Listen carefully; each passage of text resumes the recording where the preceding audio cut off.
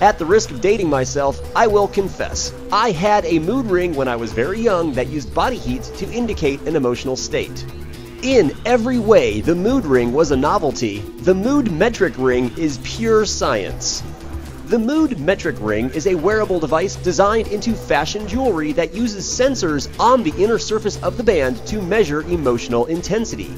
The sensors make contact on the palm side of the finger to measure the level of electrodermal activity or the conductance of your skin, and based on that data generates a score that can be easily understood as a level of emotional intensity.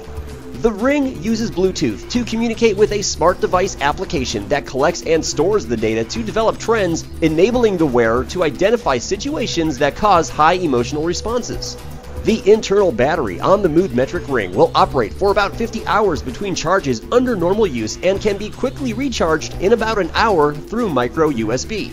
Moodmetric rings are built on a stainless steel band and in two varieties that use either plastic or aluminum to encase the components. The Moodmetric ring will be offered in six sizes when it is launched in late 2015, with the black design running 225 and the gem design at 299 bucks. I'm TK for TEKD.